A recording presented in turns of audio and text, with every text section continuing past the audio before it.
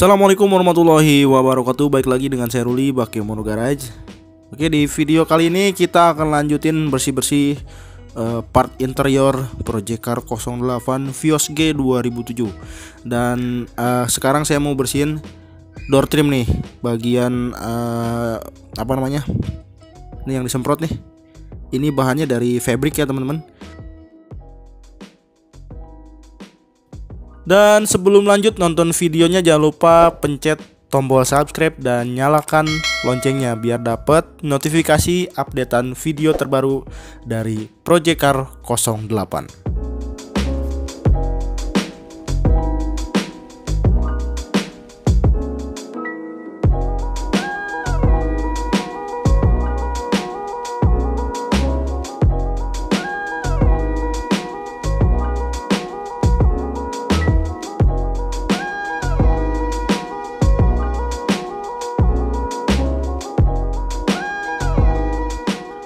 Oke selanjutnya kita ke meja atau dashboard belakang. Ini kondisinya nggak kalah kotor juga ya. Tuh di bagian stop lampnya. Ini dekil banget. Jorok ya. Kotor-kotor kayak gini. Jadi ini mau saya bersihin semua. Dan satu lagi ini ada uh, Apa namanya nih Ini konsol box tengah. Nah ini kotor juga sama kondisinya. Jadi mungkin untuk kotoran kayak gini bisa dibersihkan dan untuk yang baret tadi di atas tuh. Nah ini. Ini kayaknya nggak bisa dibersihkan. Karena ini luka ya. Bukan kotoran ya kayak kayak yang di bawah tadi. Oke sekarang kita langsung aja bersihin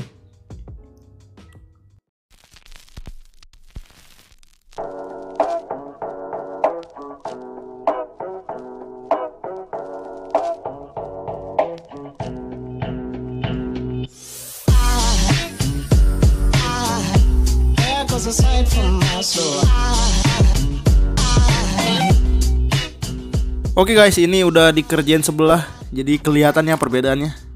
Nah ini yang baru saya kerjain segini. Tuh jadi yang belum dibersihkan dengan yang udah dibersihkan kelihatan. Ini udah bersih. Tuh. Dan sebelah sini masih dekil banget.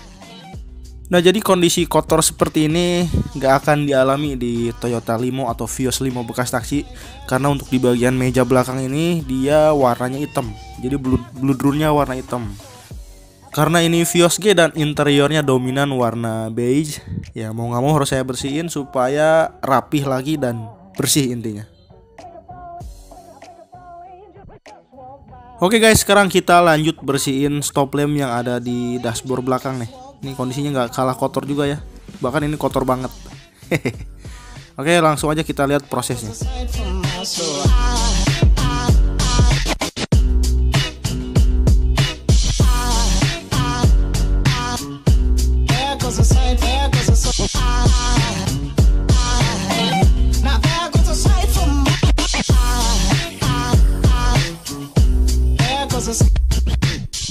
Oke guys, sekarang kita lanjut ke konsol box tengah. Ini kondisinya sama, kotor juga dan udah ada bekas lukanya tuh yang garis warna hitam.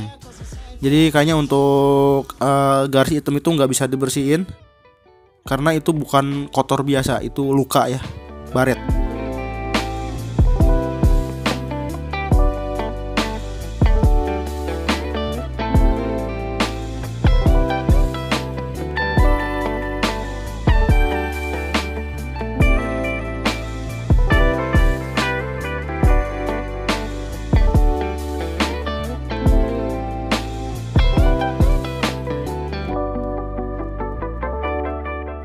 Oke guys, sebelum pasang handle pintu, ini saya mau bersihin dulu lubang kuncinya. Karena lubang kunci itu kan e, logam ya, warna chrome gitu. Jadi kebetulan ini juga kondisinya udah kotor, jadi kita poles sebisanya. Mudah-mudahan bisa kembali kinclong. Nah seperti ini ya teman-teman.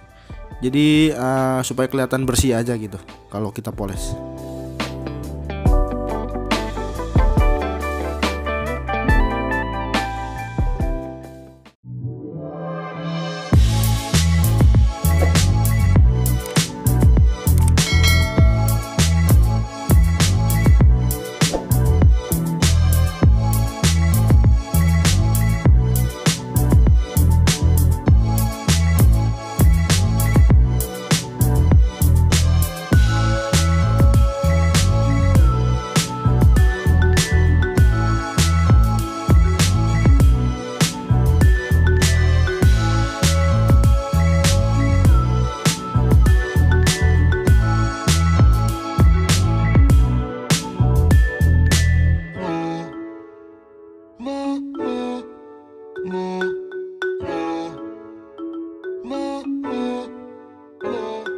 Oke guys, kita lanjut ke part interior lainnya. Ini ada perintilan uh, konsol box tengah, kemudian laci, laci dashboard ya, dashboard depan.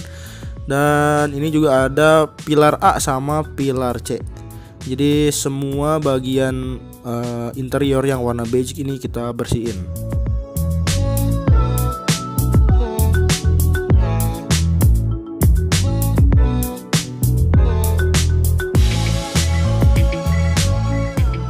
Lanjut ke bagian plafon. Jadi untuk di bagian sini juga ya lumayan kotor juga. Ada bekas kayak spidol warna hitam, warna merah, terus ada bekas sundutan rokok juga.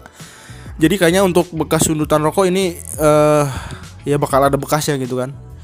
Dan kalau untuk eh, noda-noda uh, kayak bekas spidol warna hitam dan warna merah ini bisa dibersihin.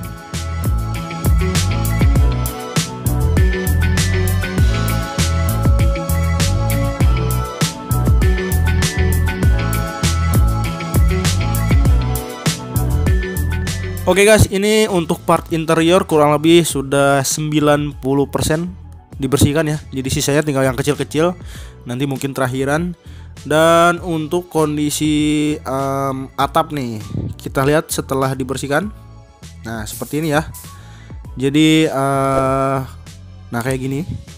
Ini kayak bekas sundutan rokok itu nggak bisa dibersihkan juga di bagian mana tadi ada lagi pokoknya bekas sundutan rokok. Nah, ini ini bekas sundutan rokok juga. Nggak bisa dibersihin juga. Sayang banget ya. Dan untuk di bagian lantainya nih udah selesai juga dibersihkan. Jadi tinggal kita pasang balik busa-busa kemudian karpet dasarnya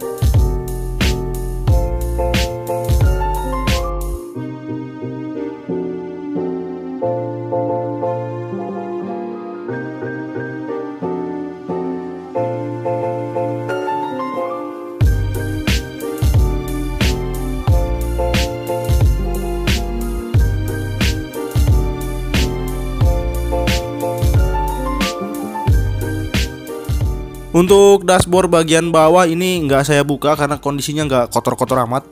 Jadi kita bersihkan dengan posisi yang sudah terpasang aja.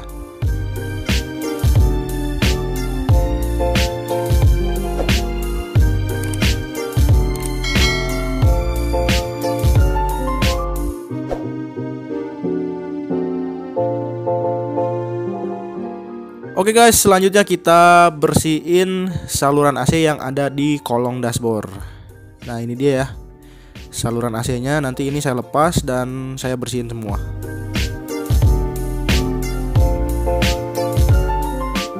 Dan uh, ini adalah salah satu part yang ngebedain antara Toyota Limo atau mobil bekas saksi dengan Toyota Vios G. Nah, ini dia. Ini airbag yang ada di dashboard. Tuh. Jadi Toyota Limo atau mobil bekas taksi itu nggak ada airbag di sini dan satunya lagi airbagnya ada di setir.